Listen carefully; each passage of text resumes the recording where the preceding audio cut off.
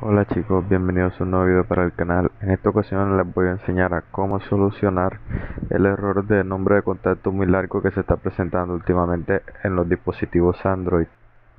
Bueno chicos, para solucionar este problema es muy sencillo. Vámonos a ir directamente al apartado de contactos. Le damos aquí en el botón donde dice más.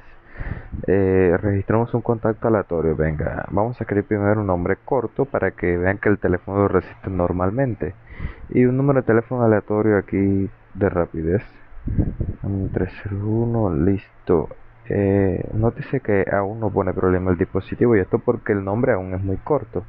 Pero le pondré por ejemplo un emoticón aquí como ven eh, ya está empezando a arrojar errores. Dice nombre del dispositivo muy largo entonces probemos con varios emoticones porque a veces nosotros creamos contacto con emoticones y mire que no va a dejar porque dice nombre muy largo nombre muy largo ese es el problema que nos pone chicos ahora creamos un texto muy largo. Por ejemplo suscríbete al canal no lo permite porque no deja los caracteres en este caso la sin no lo permite.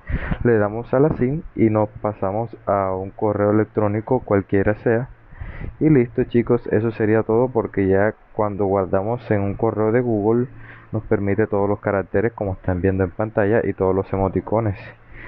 Como pueden ver todo funciona perfectamente. Y ya solo sería eso chicos. No olviden suscribirse si no lo están y espero haberlo ayudado. Nos vemos en la próxima